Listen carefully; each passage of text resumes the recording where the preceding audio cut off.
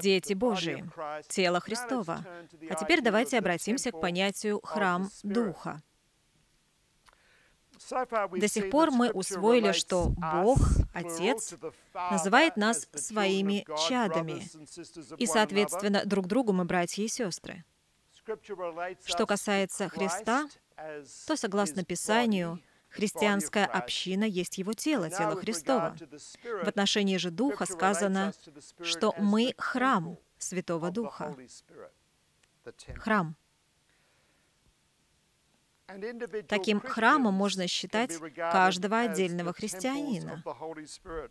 1 Коринфянам 6, стихи 19 и 20. 1 Коринфянам 6, 19 и 20.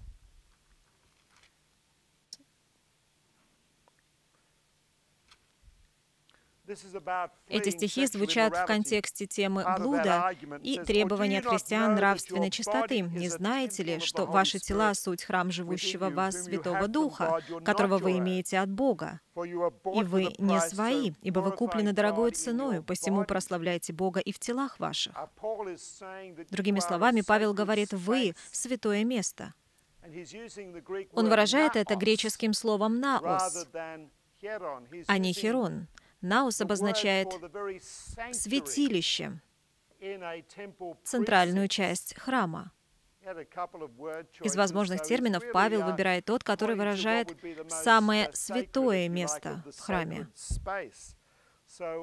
И это усиливает контраст в словах апостола. Может ли совокупляться с блудницей то, что является храмом Святого Духа? С другой стороны, таким храмом служит и христианская церковь в целом. 1 Коринфянам 3, стихи 16 и 17.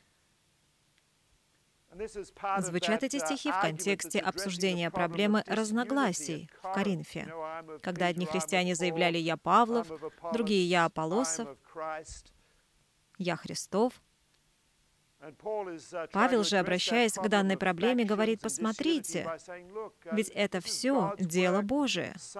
Кто-то культивирует, кто-то насаждает, кто-то поливает, но взращивает Господь. Мы же Его соработники. И уже опираясь на другой образ, он спрашивает, разве вы не знаете, что вы храм Божий, и Дух Божий живет в вас? Если кто разорит храм Божий, того покарает Бог, ибо храм Божий свят, а этот храм — вы. Здесь апостол говорит о Коринфянах как об общине. Итак, храм Святого Духа и каждый отдельно взятый христианин и поместная церковная община, но также и Вселенская Церковь.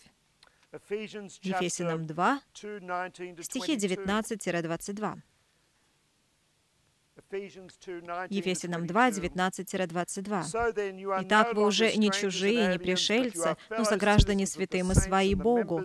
Вы утверждены на основании апостолов и пророков, имея самого Иисуса Христа краеугольным камнем, на котором все здание, слагаясь стройно, возрастает в святой храм в Господе, на котором и вы устрояетесь в жилище Божие Духом.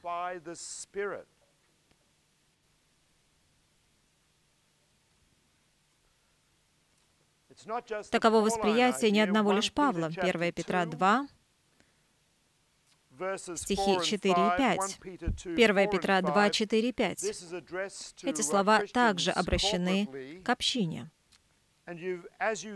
Приступая к Нему, камню живому, человеками отверженному, но Богом избранному, драгоценному и сами, как живые камни, устрояйте из себя дом духовный, священство святое, чтобы приносить духовные жертвы, благоприятные Богу Иисусом Христом.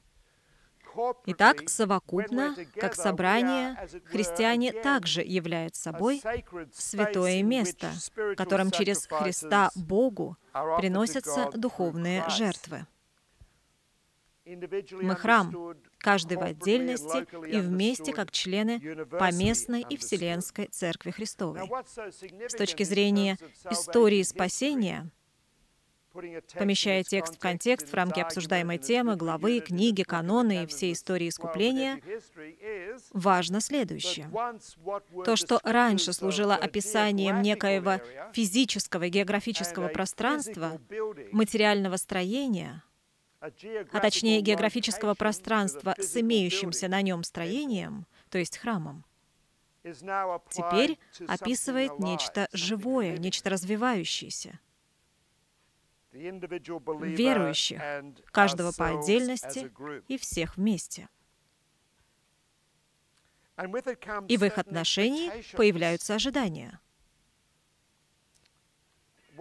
так, причастность к христианству означает принадлежность Богу. Вы взяты в удел для Бога. Вы Его святой храм. 1 Коринфянам 3, 16 и 17. Соответствующим должно быть и ваше поведение. От христиан ожидается чистота. Еще раз вспомним 1 Коринфянам 6, 18 и 19 и тему нравственной чистоты. Итак, принадлежность Богу, чистота. И далее, в контексте 1 Петра 2,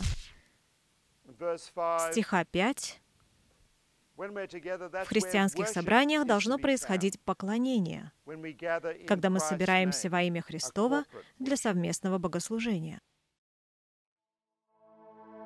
Приглашаем вас принять участие в глобальном проекте по распространению Евангелия и расширению библейского образования. От нас зависит, будет ли христианское образование доступным. Поддержите наш проект молитвой и финансами. О чем молиться и как пожертвовать, вы можете узнать на сайте www.tvseminary.com.